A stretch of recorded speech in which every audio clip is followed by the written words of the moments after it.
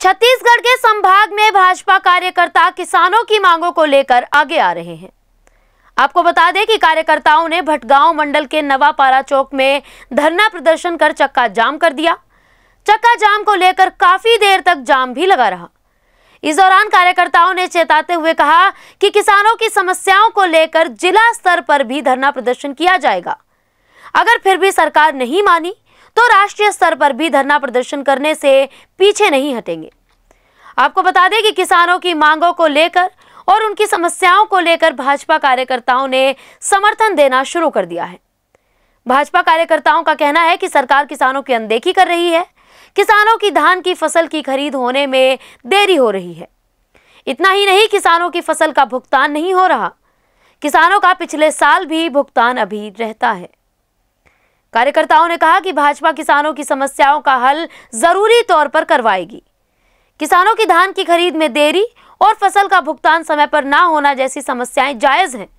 Road जाम करते हुए अशोक सिंह ने कहा कि भाजपा जिला के निर्देशानुसार प्रदेश सरकार द्वारा किसानों के साथ किए जा रहे अत्याचार, शोषण, धान खरीदी में विलंब, धान खरीदी का भुगतान ना करने को लेकर किसानों की आवाज़ उठाई जा रही है।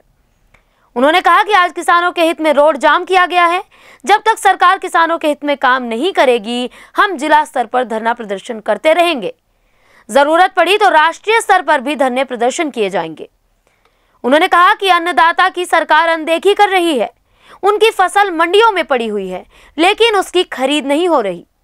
अगर खरीद हो भी जाती है तो किसानों का फ़सलों का भुगतान नहीं मिलता, जिससे किसानों की आर्थिक स्थिति गड़बड़ा रही है। इस अवसर पर जिला मंत्री अशोक सिंह जिला पंचायत सदस्य लवकेश पैकरा मंडल अध्यक्ष सुभाष राजवाड़े व महामंत्री रमेश गुप्ता आदि मौजूद रहे। संभाग से संवाददाता तुलेश्वर प्रजापति की रिपोर्ट। जाम करके क्यों रखा हुआ है?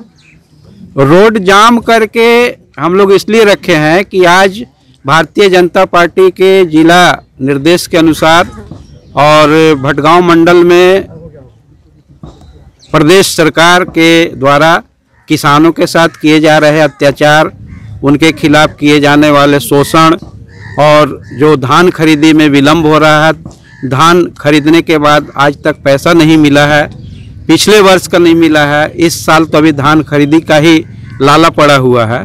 तो उसके तारतम्य में आज हम लोगों ने यहाँ नवापारा चौक पर धरना प्रदर्शन आयोजित किया था और सांकेतिक चक्का जाम का निर्णय किया था उसी के हिसाब से हम यहाँ रोड पे उपस्थित हैं। आगे भाजपा क्या करेगी किसानों के हित में?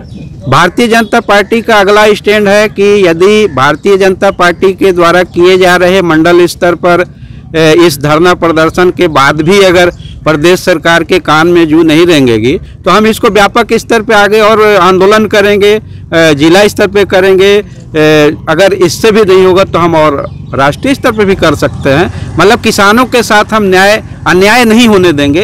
ये इसके लिए हम कमिटेड हैं। ऐसे ही लेटेस्ट खबरें पाने के लिए बेल आइकन को क्लिक कर हमारे चैनल को लाइक शेयर एंड सब्सक्राइब करें। धन्यवाद। Banquets lie hai incredible marriage palace Rajgharana and the finest banquet hall Jyoti Garden. World-class catering, centrally air-conditioned, lush green lawns, state-of-the-art lighting. A perfect venue for wedding, launching and parties. Rajgharana and Jyoti Garden at JBD Banquets Enterprise.